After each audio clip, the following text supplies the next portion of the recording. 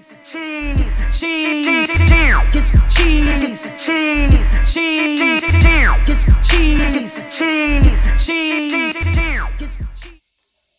What up, people? You know, Brazen.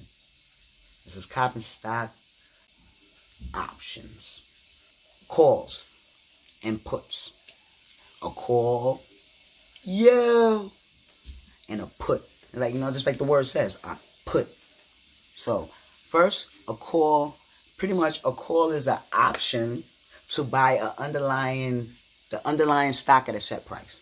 So we know what stock is. If you don't know what stock is, check out my other video. Stock is a, share of a company that you can purchase.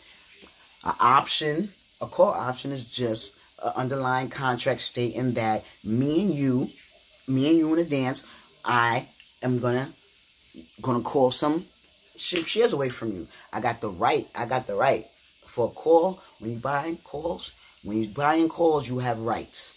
When you're selling calls, you have obligations. So whenever you sell something, you have obligation like in real life. So if, you, if I go to your store, I go to your grocery store and you sell me something, your obligation is to give me that thing. You're obligated to give it to me because you sold it to me. All right. I come into your grocery store. I am not obligated to buy it.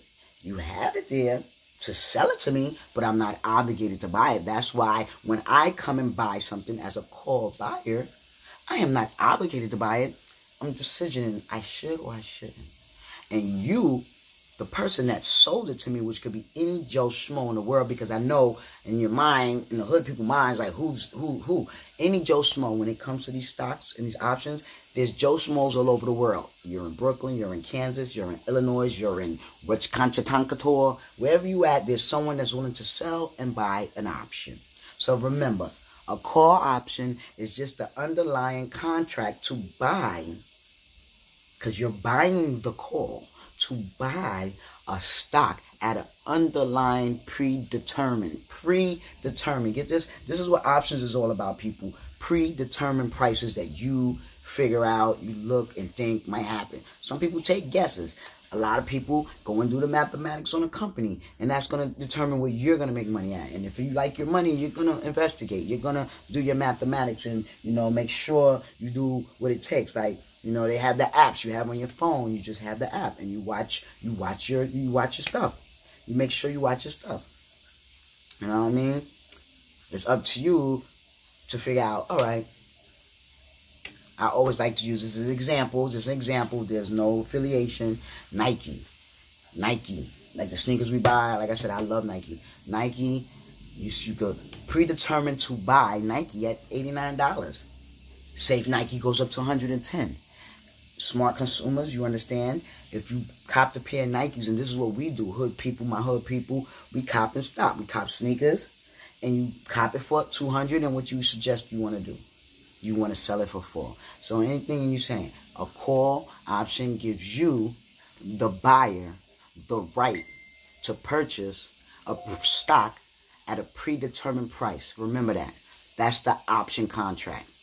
So the call, example, again, I'm explaining you. With a call, you go into a grocery store, you see a bag of bread for $2.99. You, as the person with the $3 in their pocket, have the right to buy it or not. Now, that person in that grocery store has to sell it to you. Once you give them their money, of course, their obligation is to sell it to you. If they take your three dollars and don't give you your bread, then you you're missing out. I'm sure you're gonna take notice and do something about that. So if we all understand, my hood people, check it out. Remember, a call option is a predetermined contract to buy a stock at a predetermined price. Say it with me. A call option is a contract to buy a stock at a predetermined price, later date, and a later expiration date. And remember, options is all it just has future dates. You can't buy option behind you. You cannot you can't buy option from behind you. Every option you will purchase or for options is in the future. It will be 10 days out, 12 days out, 15, 24, 100, 68, 100 days, 300, 400. It could be a day out. It's up to you. But the option allows you to write as the buyer to buy that option, that stock, excuse me, because we're not buying stock per se. We don't own the stock. You can own the stock. That's what's called cover calls. When you own the stock, it's a cover call.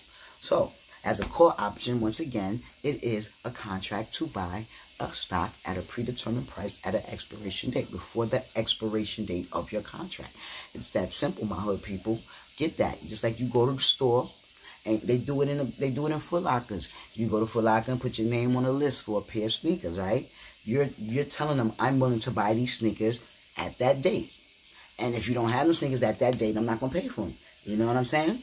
So there you go. A call option, people, is just a contract between you and an anonymous seller.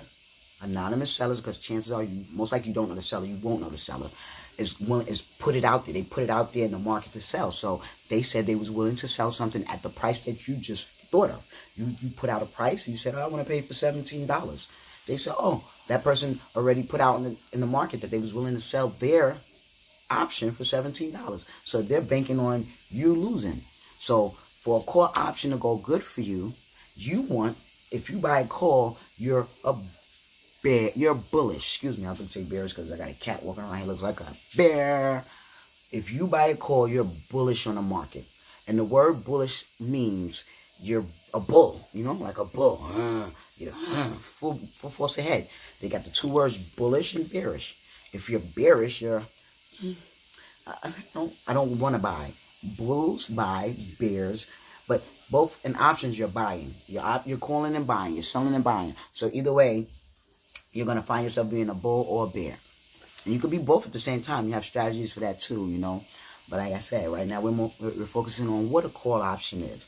A call option is a contract between you and a Joe Schmo somewhere, predetermined price, 24 days, a day out, 30 days, 100 days out.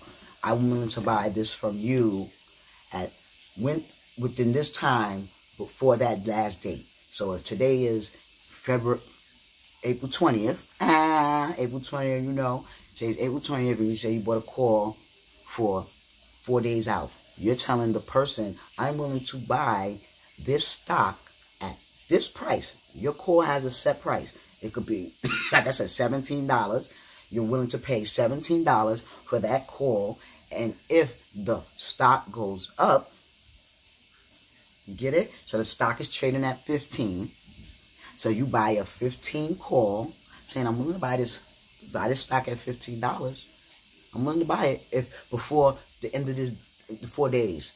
So on the fourth day, if I don't want to buy it, I'll just, uh, or I'll buy it, or I'll sell it. So you buy the call, $15, and if the price you want as you buying this call, you want this price to go up. You want this price to go up exponentially. You want it to go from 15 to a thousand if please. I mean, 2 million would be even better. If this stock could go from $15 to $30 million from February, from April 20th to the 25th, you in the money. That's what ITM is, in the money. You want anything after 15, 16, 17, 18 is good for you. 15 below, no good. When you buy a call, anything below the number you bought, no good. Okay? So if you buy a call, just remember, hood terms, you buy the call, whatever you number you buy that call for, not the money, not what you paid, but the strike price. A strike price is the price of a stock. Remember that. Strike price is the price of a stock. So you buy that call at 15, you want everything above 15. Uh, chances, whatever you bought that call for tells you what you want. So if you bought the 15 call, okay, for 15 for 17 for three dollars. So you want it to be above 18 so then 15 plus a 3 if you bought it 15 plus 2 15 plus 2 if you bought the 15 call for two dollars you want that call to go up to 17 and above because 15 plus 2 that's your money. Your two dollars is your premium that you bought. So you got to make back your two dollars back. So you want it to go 15 16 17 that two dollars so, and, and good and good math, you want it to go way above 15, of course. Nowhere below, then you start losing. So remember, a call option gives you rights. You're not obligated to buy. You don't have to. But if your money, if your if your option goes in the money and whatever app you on, whatever trader app, you might get exercised. Exercise is not a bad thing, but it also you know, it takes it takes time because the exercise has to go through a day or two days clear. There's money held up when you could just sell the option. It's a sticky place. You want to watch your options. You know, said you got to keep an eye every five minutes. You got to keep an eye on it. So a call option is a contract to buy a stock at a predetermined price if you want. Remember that. If you want. That's why it's called rights as a, a buyer. Even if you're buying puts, whenever you're buying, just have rights. Remember that on either side. Buy puts or calls.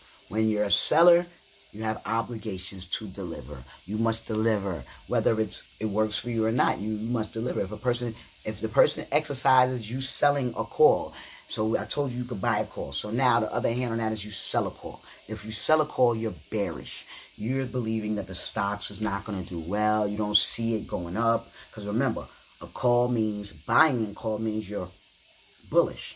So if you sell the call, that means you're seeing the outlook on a that stock, something is not too right at the moment and you feel it might go lower and you want it to go lower. I mean, at the end of the day, you know, the only time you hedging is when you feel you, you go with emotions. That's when you're hedging. When you're just buying options and you're day trading, you're not hedging. Because if you don't own a stock, you're not hedging. You're just buying and transacting options. And you're buying, pretty much, you're selling premium because you're not buying the stock. You're selling and buying premium. You're, you're, you're banking on your stock going up so you can get the premium. You want your premium to go up for whatever you bought. If you bought it at, if you bought the call at two dollars, you generally want it to go four, ten, twenty, a hundred, three thousand, a million. Anything below is no good. Remember that. This is how simple this is, my people. Leave a comment. Cheese, cheese, cheese, cheese, cheese, cheese, cheese, cheese, cheese, cheese.